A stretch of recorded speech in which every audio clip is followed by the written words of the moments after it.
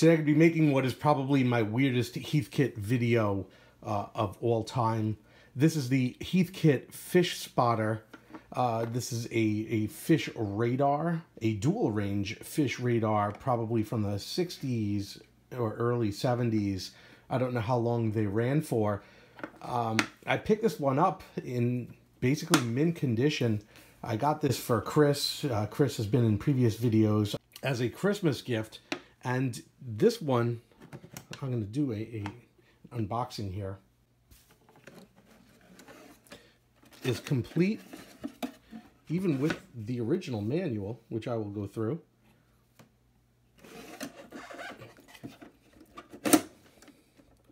in looking all the way in the back cover, we see that this was made by the Heath Company. This was pre-assembled from the factory, and I have previously fired it up. This does work, right? And what we have is there's actually a motor that spins around in here and there's a, a light that displays and, and tells you basically from this indication where fish are and depth and what have you.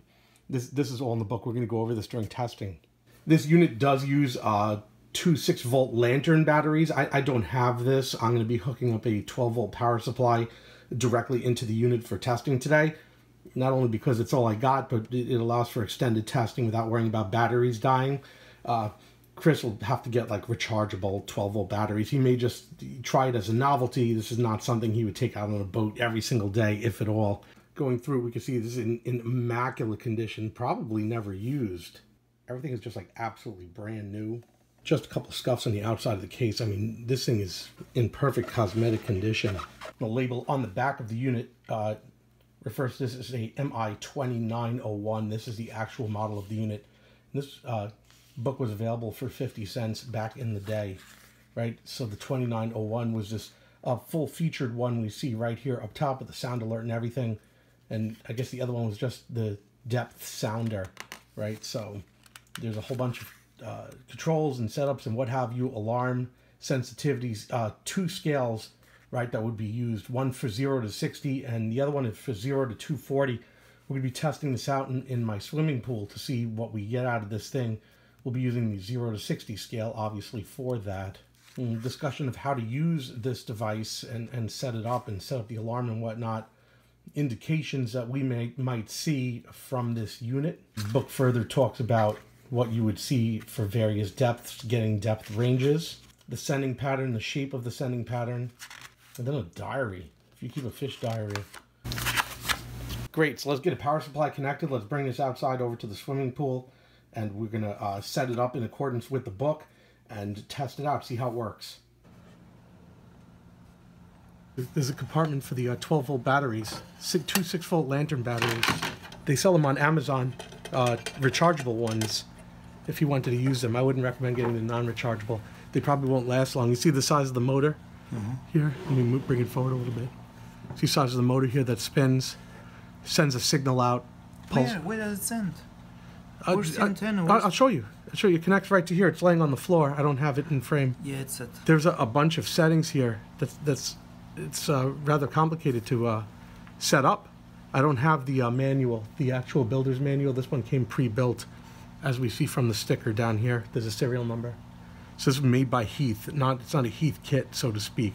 It was pre-assembled as consumer-grade appliance. But uh, yeah, it's just sonar, as it were.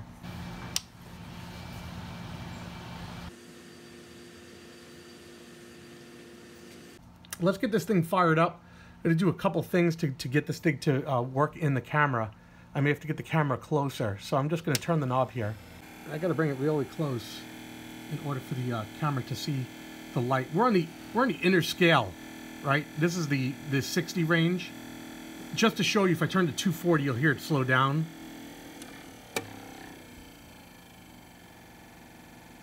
That's the 240 range, and it doesn't come in very well on the camera with the flickering, but that's okay. We're not using it. I just wanted to demonstrate. That's the outer range of 240. I'm going to go back to 60. Back on the inner scale now. I'm not going to be using the alarm, the sound alert. I'm not really familiar with it, but I know I'm going to adjust the sensitivity. And I'm just going to bring it back right to there. And uh, we're, we're using a swimming pool. Obviously, it's not ideal. It's not a lake by any means, but we're just going to try and uh, use it in, in, in a fish spotter mode to see if we could get some depth readings, use it across the swimming pool to see if we could just take some measurements till it hits the wall of the swimming pool and comes back. That way we could get some deeper readings. Uh, Elvis will assist me in doing that as we uh, try and take some measurements both down and to the side. We ran into problems with this power supply. It, it was unbelievable. Uh, if we turn the sensitivity up, that everything goes off the charts. The current kicks up so high and it produces so much noise and, and we believe we come up with a theory isolate the problem. The, the negative uh, is connected to ground over a capacitor, and so much noise crosses from negative to ground that it, it trips the GFCI for this outlet. And while I can't say with certainty, 100% certainty, that's the cause of this, right? Because I haven't dug too deep into this power supply yet, I can tell you that if I turn up sensitivity really high, the entire circuit dies and I have to go and reset the GFCI for this outlet. I thought that was very strange, and I will tell you that right before that happens, the current goes up to about 1 amp. So look at that, this thing pulling about 12 watts right before this dies, right? So I definitely want to keep sensitivity low on this, and, and I think it's a fault of the power supply and the amount of noise that this thing generates when you crank up that sensitivity. I'll crank it up a little just so you can see what it looks like. And you can see that, that it jumped up to 0.2, and that would that would increase uh, exponentially as I touch it. See, it's at 0.5. I don't want to go any higher than that because it will it will trip the, the uh, GFCI again. So I'm going to lower this now back down to an acceptable level. I, I think we're good right there. We're going to get started with some tests. I'm trying to balance the sensitivity with the actual test we're doing. He's moving this thing in, in the position in, in, the pool. Right now he's got his finger in front of it. A little deeper though because there's there's a uh, it has to pitch down a little bit because there is an angle. Right there, we're looking at, I bring up sensitivity just a hair. Yeah, there we go. We can see it right there. Looking about 30 feet. It's scanning across the, the end of the pool. It's about a 30 foot pool, and we can see that it kicked up. Right now, he's against the wall, a seven foot distance we're looking at from, from, the, from edge to edge. And right now, it's pointing straight to the bottom of the first step. It's just a couple of feet down, and we can see uh, a couple feet down is picked up. He's back at the edge of the wall now, and we can see he's, he's scanning around the pool is what he's doing. He's moving the thing across the pool. But as he's moving it to different areas, you can see uh, some reoccurring numbers. We're going to see that, that 30 foot when he goes to the, around the 30 feet, he goes to the edge of the pool right there. Right? There's the 30 foot as he's at the edge of the pool on the opposite side. And now he's pointing it basically right next to him at the wall. Now he's pointing it down at the stairs right over here. But this is working uh, very nice, actually. This is this does a really good job at uh, measuring the distance uh, with uh, a high degree of sensitivity. I'm, I'm quite impressed, actually. We managed to stick it into a, a metal pole to hold it in position. And we can see now it's, it's being held in place right there, straight across the pool. It's not ideal because it's also reflecting off that metal pole now, but we could see another shot straight across. Now I could I, I could play with the sensitivity here. Yeah, and raising the sensitivity doesn't do any good because now you can't tell what you're really looking at. But as I drop that sensitivity, I'm going to see what happens.